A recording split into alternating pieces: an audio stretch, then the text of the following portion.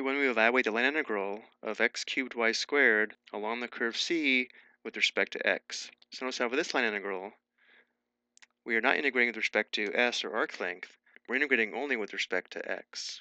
Where the curve C is the arc of the curve x equals y squared from the point 0 comma 0 to the point 1 comma 1.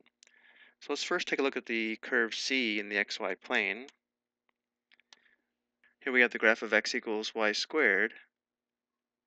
Notice how this point at the origin is the point 0 comma 0, and this point is the point 1 comma 1. So this is the path of integration, but we're only integrating with respect to x, not arc length.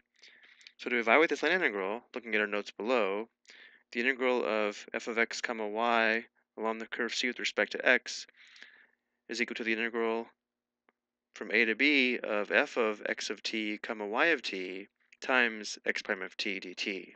So we need to write the integrand function given as a function of x and y as a function of t using the parametric equations for the curve c and then differential x is equal to x prime of t dt. So because the given curve is x equals y squared, for the parametric equations, let's set y, or y of t, be equal to t, and therefore x, or x of t, is equal to t squared. Now to trace out this curve from this point to this point, notice how we'd have to let t be on the closed interval from 0 to 1. So t is greater than or equal to 0 and less than or equal to 1 to trace out the curve C.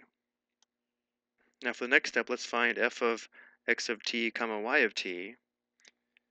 So f of x of t comma y of t is equal to, well, if f of x comma y equals x cubed y squared, x cubed in terms of t would be t to the second to the third, and then y squared would just be t to the second.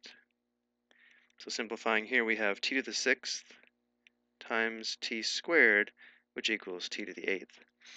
Notice how we also need to find x prime of t. Well, if x of t equals t squared, x prime of t is equal to 2t.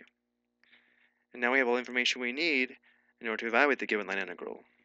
The given line integral of x cubed y squared along the curve C integrated with respect to x is equal to the integral of f of x of t comma y of t, which is t to the eighth, times x prime of t dt, which would be 2t dt.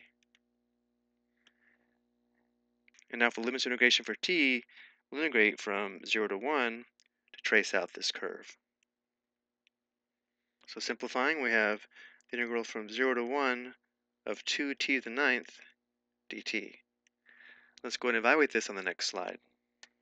The antiderivative is going to be 2 times t to the 10th divided by 10. Well, 2 tenths simplifies to 1 fifth, so we have 1 fifth times the quantity. When t is 1, we'd have 1 to the 10th. And when t is 0, we just have 0 to the 10th. Which gives us 1 fifth times 1, or just 1 fifth. This is the value of the given line integral. I hope you found this helpful.